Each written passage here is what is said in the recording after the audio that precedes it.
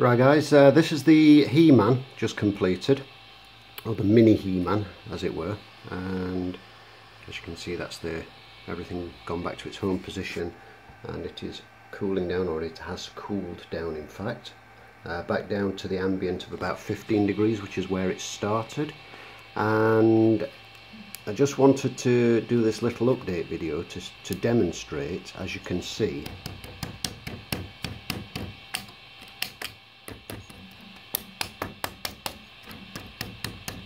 that this little fella is stuck very very firmly onto that bed despite that bed not being heated at all and I don't know if I'm going to be able to pop this off while I'm holding the camera. Uh, excuse me while I try and do this one-handed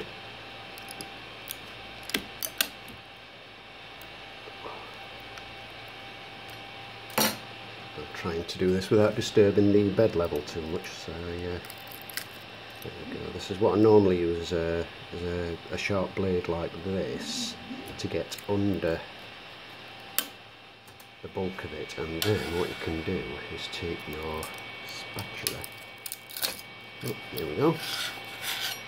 And pop it off like so and it comes off nice and clean and much more easily than uh, just trying with the spatula which can be a bit tricky at times. So yeah as you can see that was stuck very very well indeed. Come off nice and clean though.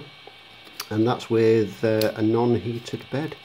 So hopefully uh, this little experiment is going to be handy for anybody who's looking into this as a possibility. And the next thing I'm going to try is uh,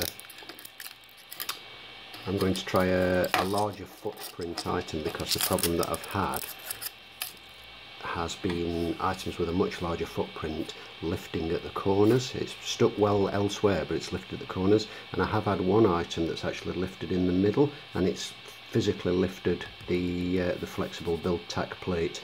So uh, hopefully this has been useful and um, I shall update when I try a larger print.